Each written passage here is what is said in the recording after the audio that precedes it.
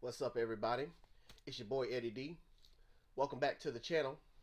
Today we are on episode three of Grey's Anatomy, season two.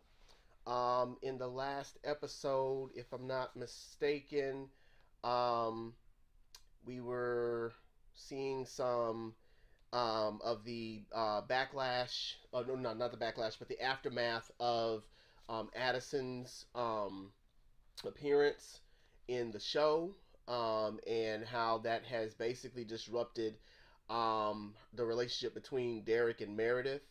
Um, Meredith and Cristina's relationship is starting to grow. Um, they are more expressive toward each other about you know the things that are going on in their lives. Um, I think they that breaking point um, in episode one kind of cemented uh, the friendship between the two of them. Um, George is um, dealing with the aftermath of you know his you know brief relationship with his um, now ex girlfriend and the fact that he has these feelings for Meredith that he will not express, doesn't know how to express, doesn't know how to deal with. Um, Alex showed more of his past um, in talking about how um, you know his dad um, uh, was abusive and how he when he got older got into wrestling got bigger uh, more physically adept and basically you know beat his dad down and how he regretted that um, because he wished that he could um, you know remedy that relationship um, between him and his dad um, that certainly you know lit izzy's um, uh, life up just a little bit more um, so again, interested to see whether or not that relationship is going to pan out the way it looks like it's trying to. Um, we got to meet Richard's wife uh, for the first time, um, and um, and and, and, and really get to see how the how being a doctor is um, it, how it just takes away from having a relationship with people um, it seems in this hospital. And Burke, um, you know, is kind of torn between wanting to be this great doctor, chief of medicine, and have a life at the same time, which is why his relationship with Cristina is still looking, you know, kind of like I want you, but I don't want you. I want you, but I won't tell you, and something to that end. Um, Cristina's feeling the same way. I don't want to be with you, but I keep looking at you with these googly eyes um, I want to say something to you, but I don't. Um, and when Burke offers opens the door for her to speak, she doesn't say anything. She or goes right back to business as usual while still being mad at him um, for you know for breaking it off. Um, and so uh, so we're seeing a lot of the dynamics of the relationships between everybody uh, play out a whole lot more, and I'm loving every minute of it. Um, it's giving me a lot to chew on and to think about and so um, I I'm kind of expecting my reactions to be a little more nuanced than they have been because of the um the character um development that I'm seeing.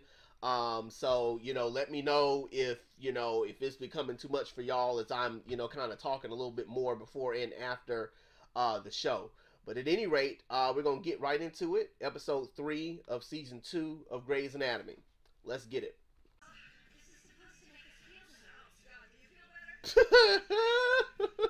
uh-uh. I want to run.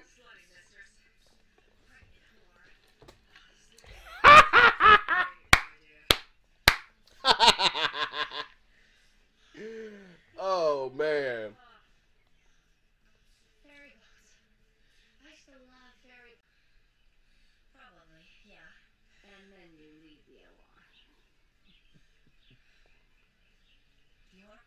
Hell no. Really? All that beautiful control. What is she doing? She's hanging out with Alex. Mm-hmm. Why not? I don't know. I think they might be friends. Uh-huh.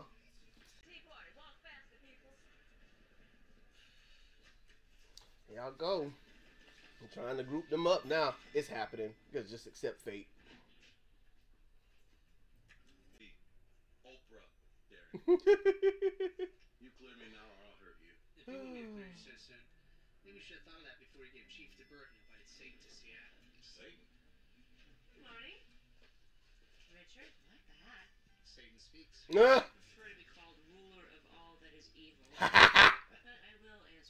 Satan. nice. Doing here. I asked her to stay. We have a pediatric surgery attending on maternity leave. Actually, I could use you on a consult. Ah. What? It's true. Hey, why do you do that? What? Act like an ass when everybody but me is around. They hate you enough as it is. So.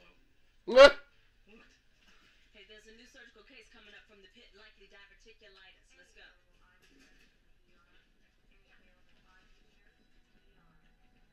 Watch your hands off me! I can report you to the chief, and you be out on your ass. Where is Patient's name is uh, Where's the chief? You're all amateurs. Uh-oh. uh, Benjamin cramping pain and diarrhea. Also, Oh, whoa.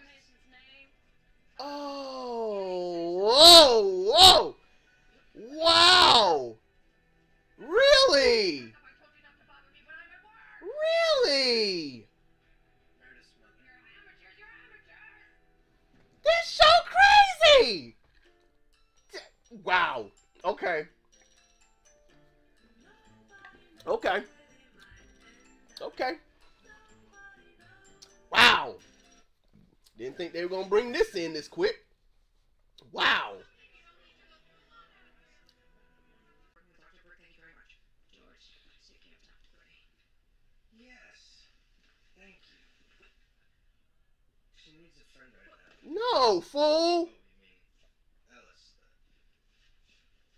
Check on the left. I said don't do this. Derek, look, she's a spider. Look how far she's come Don't already. get attached. Don't get involved. Just. I am glad that you're back. I'm just hiding my joy deep down inside. And uh, Chief. The hat. It's a little pimped out. Welcome back.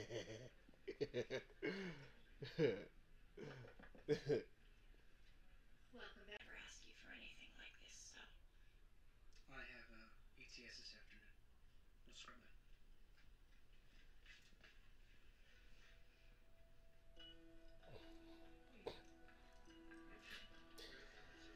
okay.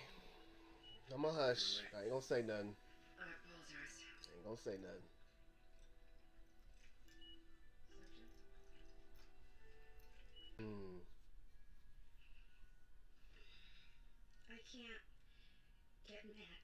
Can't be happy. I can't feel anything without the whole world knowing. Hmm. I can't have a secret. Can you imagine living that way your entire life? Hmm. Don't have a poker face. I get it. Please.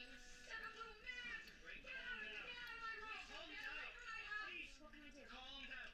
Please get some haloperidol. Don't give me that look. That sad little soulful little puppy routine. I know it by heart. Thatch. And I'm over it. I'm, uh, I'm just a little busy just now. You know, uh, got it on. Right. Okay. It's just that she seems to think I'm her ex-husband, and she won't let me touch her. Yeah. I know. New hospital policy, annoying bureaucrats. Make it quick. Why don't you wait outside, Thatcher? I can take it from here.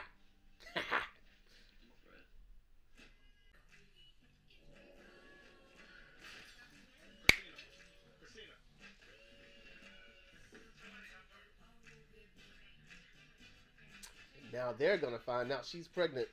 God, this show was good. This show was good. I didn't see that coming.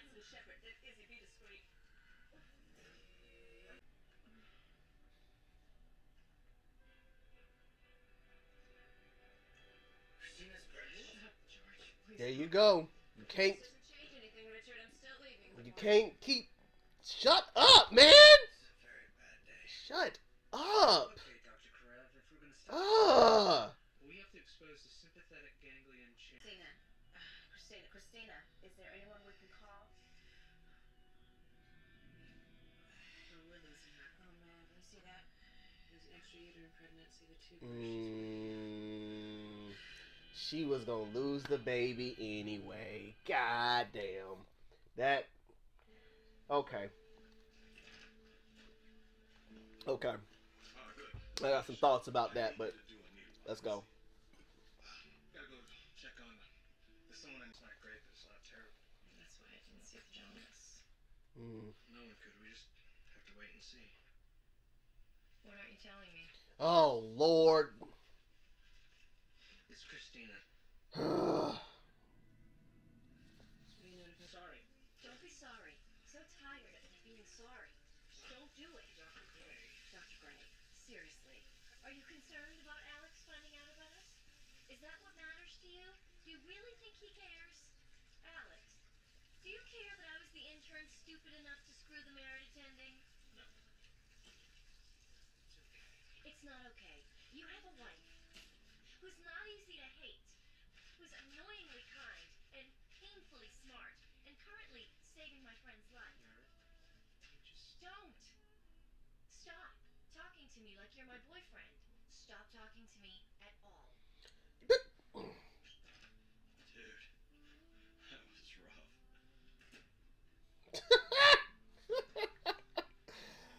Meredith, okay, I'm try I'm trying to be on your side, but then you say stuff that don't make sense. Like, okay, uh, just, okay. No, you're not. I made her go jogging. There's no way that could have. No, no. It started out this way. Nothing caused it to happen. Mhm. You have to let me in there. No, I don't. Exactly. Hey, I may be short, but pretty tiny. I could do it. Right now, just in this moment, mm-hmm. I hate you. Good. Yeah, well, I can take it. All right, Dr. Grey. We're going to put you to sleep for a little while. Finally, somebody put a block in front of her and said, "No, you can't." I don't care if you're Meredith Grey. Don't care if you're the hero of this story. I said no. You can't do it. That made me feel good. Golly.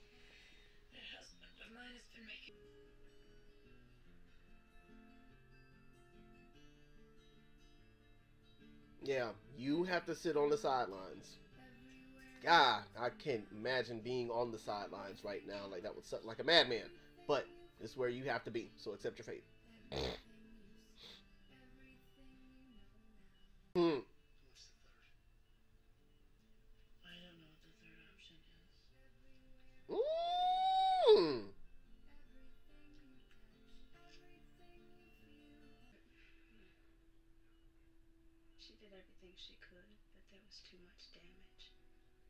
Couldn't save the tube. Mm.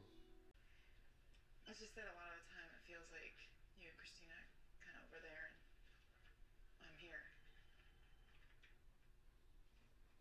Hmm. So about Alex. Yeah, I know. I know. You guys hate him. Fine. Yeah, we do. But I just want to say that I believe you. But he's different once you get to know him. The fact is, I don't always like you very much either. I don't like the way you speak to me. And I really hate the way you speak to Meredith. She deserves better from you. All right. I'm sorry. Okay. You are? Stop. What's wrong with me, Boy. All right. The mass on your liver? Is it algebra? I mean, is it algebra? Damn it. God, this is so hard to watch. Is it malignant?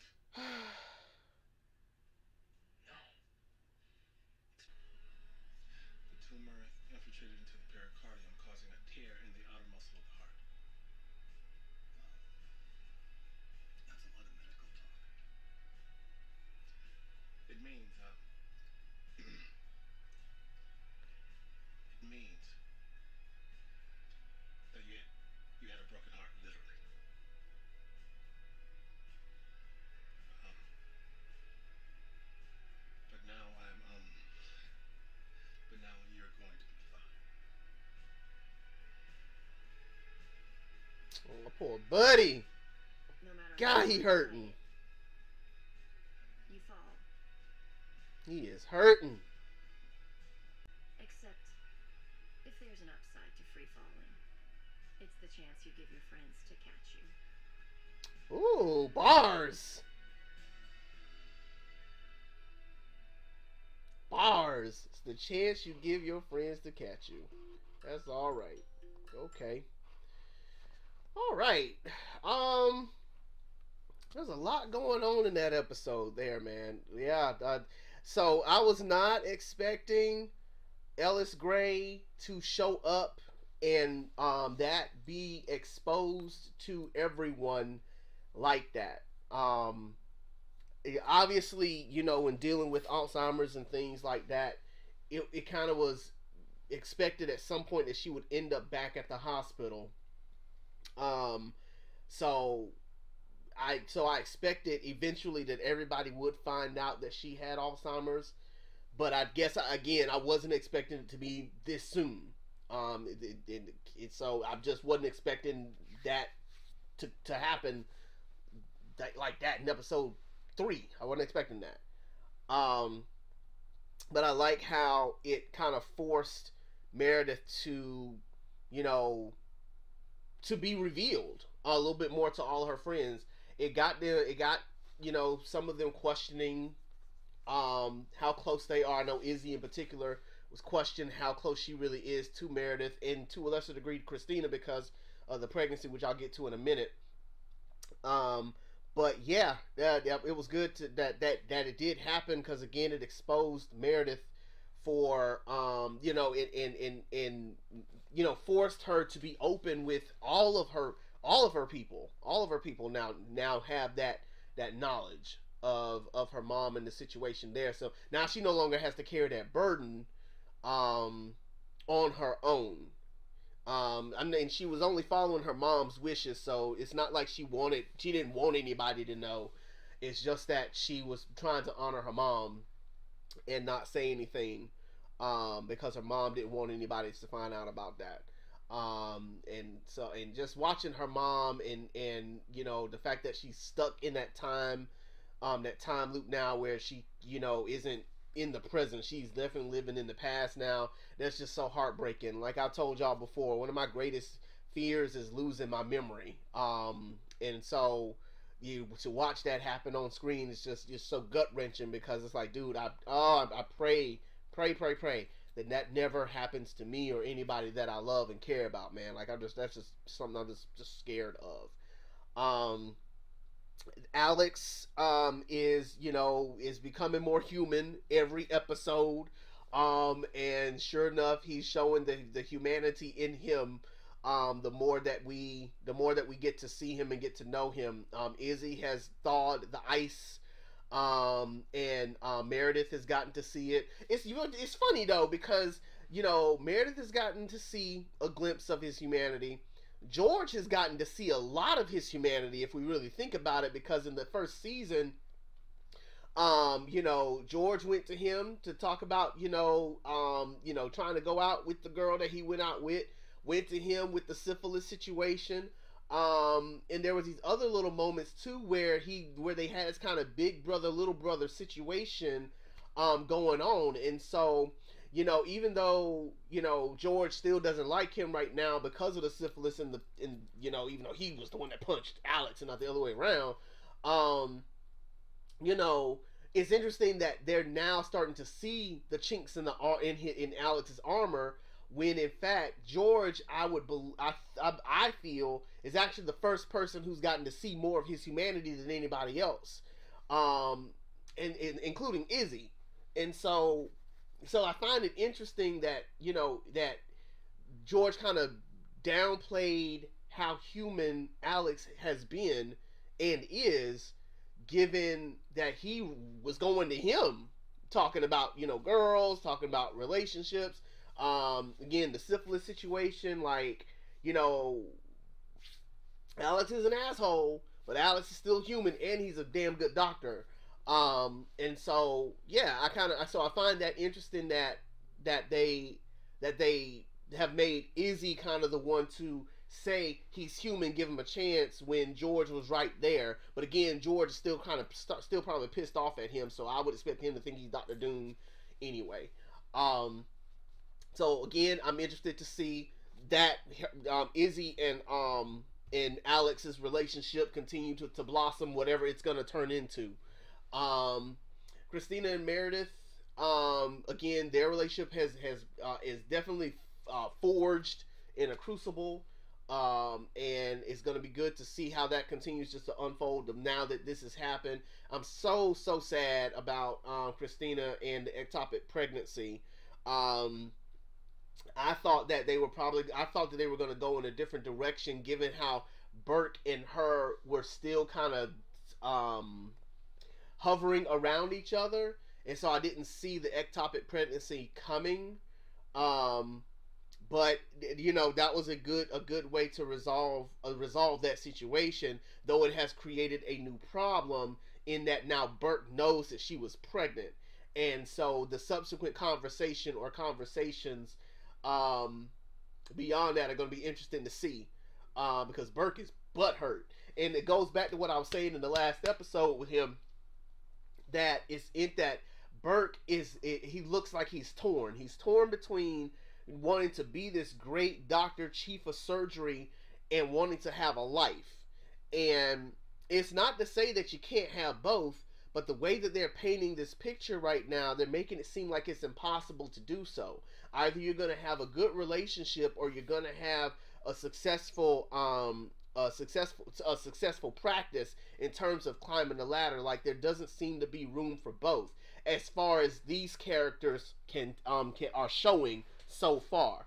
Um, because even Richard's relationship with his wife is very, very standoffish. Like he's like, man, I'd rather be at work than to be at home. And you know that that's telling. Like, dude, you know you want so badly to work that you're willing to, you know, you only been you only been out of surgery for a week and you're already trying to get back into surgery. Like, what is it? So what's so bad about being at home that you feel like you you got to be there? Um, and so again, I just find that interesting. That's where they are right now. Um, that's where he that's where they are right now. Um, with Burke because Burke again, like he's he's really trying to he's he's really battling. I can see he's battling and struggling with wanting to you know ha- care for somebody, wanting to be there for somebody, wanting to be in a relationship, wanting to be in love, wanting to be married, have the kids. Seems like the whole nine yards, and be this successful chief of surgery that he you know has the ambition for. Um, so I'm so I'm gonna be so again just wondering how that's gonna continue to play out and whether or not he's gonna be able to achieve that and if he's gonna be able to achieve that with Cristina, which I again I, am not quite I'm not sure if that's really what the the case. Um, uh, again, so I, I don't know I don't know what's gonna happen with Cristina at this point. Um, in in relation to that. Um, George still getting on my nerves. I wish he would dial down some of the emotionalist emotionalness that that that encompasses him. But I think I'm just gonna have to accept fate that he's just gonna he can't he can't keep his mouth shut about nothing. He gonna say what he feel, and this is gonna be what it's gonna be. Um, Dr. Bailey is still like my dog. Like I I I want so badly for them to give her more shine.